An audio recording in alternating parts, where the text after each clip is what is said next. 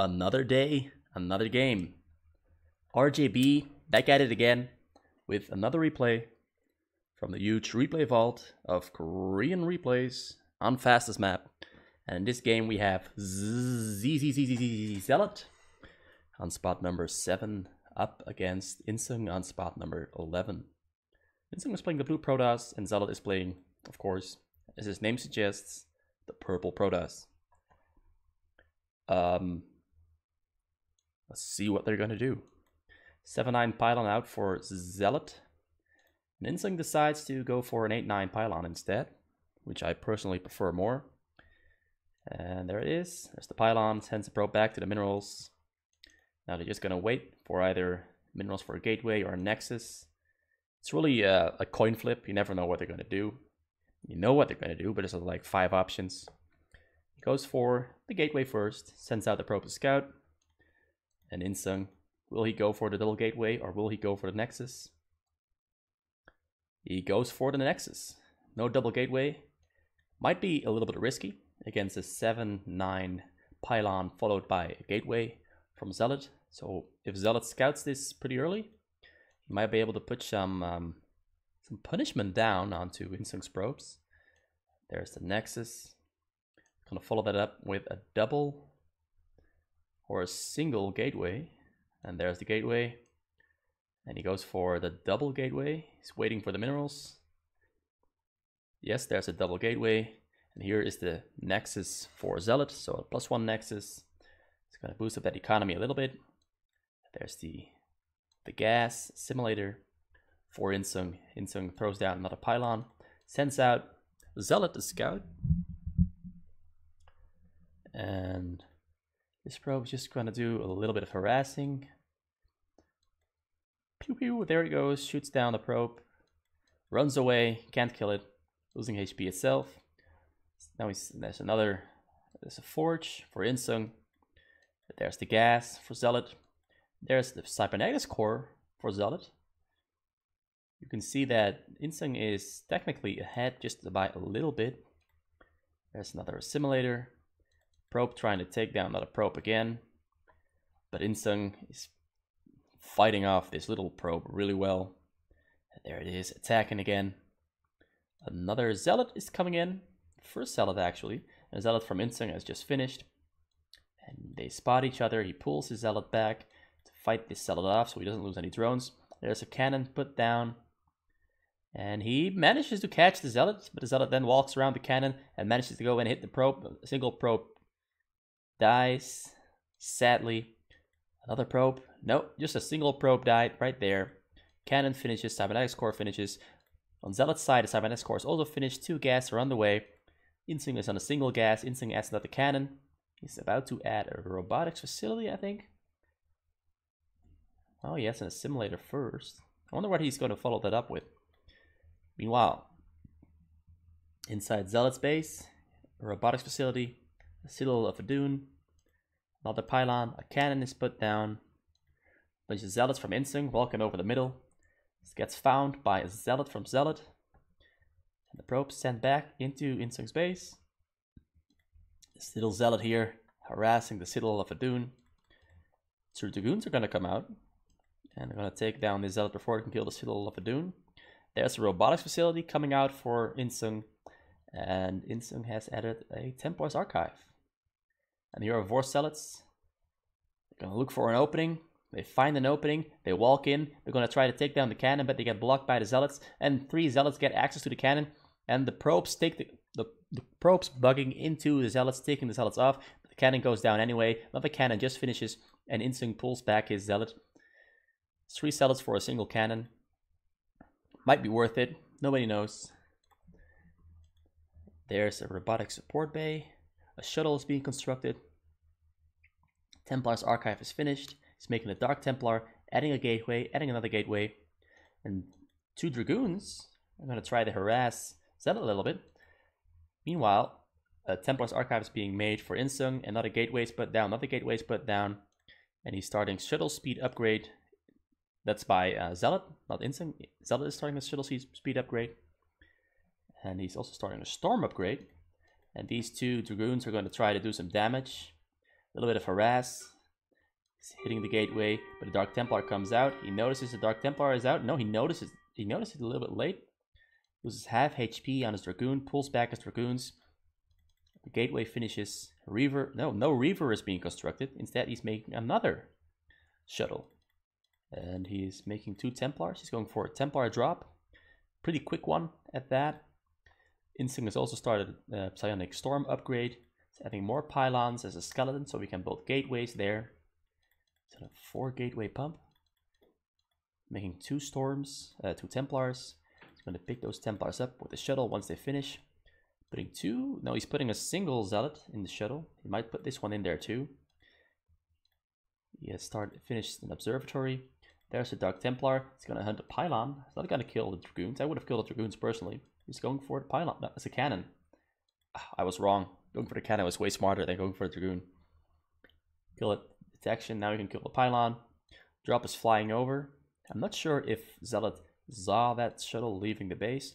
Robotic support bay has finished. Another pylon. Another pylon there. More pylons being constructed. Meanwhile, Zealot is sending out a drop. He's lift, uh, loading up another drop. He's going to send two drops at the same time. There's a drop coming in from Insung.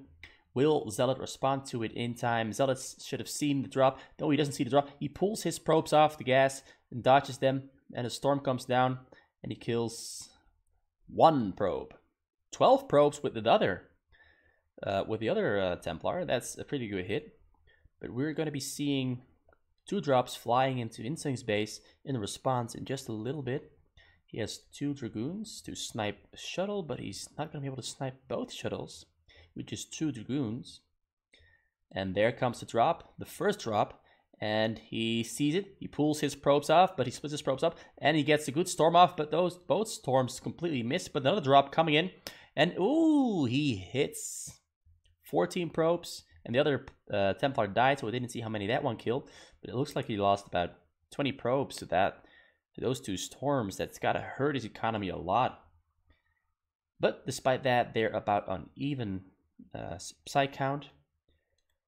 And it looks like Zealot is in a little bit of a better, uh, better sp uh, spot than Insung is in right now. Another drop is flying out. And here's an observer coming out for Insung. Another drop has been loaded up. There's no zealots in there, so there's no distraction from the cannons. Oh, he's going to try to distract from the cannons with these dragoons the Dark Templar and the Zealot that he's sending out. The Zealot scouts, Insung's units. And finishing up his skeleton of a base, adding another gas. And there's the drop. It's gonna remain hidden for now. It's gonna fly in behind these dragoons. But meanwhile, the drop is coming in in Insung's base. Insung dots dodges shit, And there's a storm coming out, and the storm kills about nine probes. In the meantime, Insung is now back to controlling his attack. It's to fly this drop in, but there's no distraction. It isn't getting focused down. Oh, he decides to storm the Dragoons instead. He's not going for the drop on the minerals. I would have gone for the drop on the minerals, but he looks like he thinks he can get it done. He's just distracting, storming the Dragoons again, but doing very minimal damage. He decides to pull back with absolutely no damage dealt to his opponent. Aside from two cannons that were taken down in Zealot's base, a lot of idle probes at Zealot's nexuses, and he finally decides to put them to work. Dragoon's now in the middle, another drop coming in. This time he does have distraction zealots in there to take focus off the Templars by the cannons. He's slowly trying to rebuild, but he's very broke. He's 30 psi behind on uh, Zealot, and the drop is now flying in. Zealot notices it, tries to target it down, but zealots get dropped out, and the storm comes out, and the storm gets 13 probes, and another storm comes out, and his storm gets 7 probes, and ooh. Now they're almost about even again, although I do assume that uh, Zealot is still ahead in probe count. He also has more units out on the map. Bases are about equal size, although Zealot has way more gateways, but he can't pump from those gateways anymore because he just lost almost all of his. There's a lot of probes, so his income is down. But the upside of having so many Dragoons out is that it's way easier to snipe drops that are coming in manually, so you don't have to rely on your cannons. And cannons will get distracted by Zealots if there's a Zealot in the shuttle and the Zealot gets dropped out. Here's positioning his Dragoons to intercept drops. These Dragoons also positioned to intercept drops. But instead of dropping, he's going to try to, no, he's not going to try to drop. Instead of dropping, a Zealot is just going to attack and see if Insung has been damaged sufficiently for him to take down and kill, or maybe just do a lot of damage. So he can uh, snowball his lead over him, because right now he has 27 supply lead over Insung. Insung is on the hind foot. There's a drop coming in, but the drop gets spotted by these pylons that Insung just put out as a buffer zone, so you can see it. Insa uh, Zealot decides to change the course of his drop. He's now attacking, taking down Zealots, taking down cannons. And Insung is dodging his probes preemptively, which is also costing him income. And he gets a Storm of anyway, and he kills, um, I think, maybe two probes. That's a really good situation. That's a really good win for Insung. But in the meantime, Insung has lost all of his units in his base and is now getting pushed in by these Dragoons, and more units are going to come walking in. There's another drop. It's being loaded up inside Zealot's base, now being sent to Insung's base. And Insung is now getting microed. He doesn't have Zealot speed because he couldn't afford it. The Dragoon's just dancing back. A storm comes out on the Dragoons, but now a storm is going to come out on his minerals. And these... Oh, and he gets three probes. Die, but he's got another storm in it. He's going to wait, and he's not going to storm a second time. But nonetheless, Insung is pretty much dead at this point. He doesn't have the income to produce any more units of significance. He's going to get Zealots out, and the Zealots are going to get focused down by the Dragoons. And Insung loses the game to Zealot. Not a very, uh, quite an intense game. A lot of stuff going on. A lot of very drop-centric. And pretty poor dodges at some times. But also pretty good storms at other times. I really think that if um, like back at, I think it was around seven minutes or eight minutes when Insung was attacking. I really wish he would have gone for uh, sending those Templars. Like, yeah, these Templars he had here. I, would, I really wished he would have sent those and try to drop Zealot instead of storming the Dragoons. It really feels like a wasted opportunity from him. Like, he could have just walked his Dragoons in a little bit deeper and then flown the shuttle in and stormed these probes. He decided not to do it. I really think that was the turnaround of the game because his attack ended up completely wasted. And you can't afford to waste units and minerals that you've invested into an attack like that because it just means that if the enemy gets off a good attack or a good drop, they're gonna get, have a net gain over you. Gonna snowball, gonna get further ahead, a bigger base, more units, more workers, they're to be bigger, snowball more, and if it's easier for them to hit again, it's hard, becoming harder for you to defend. And the game just snowballs and rolls out of control, like it did here. Insung has to throw in the towel at 11 minutes. And thanks for watching. Hope you enjoyed the game. I enjoyed it. And uh, hasta la vista.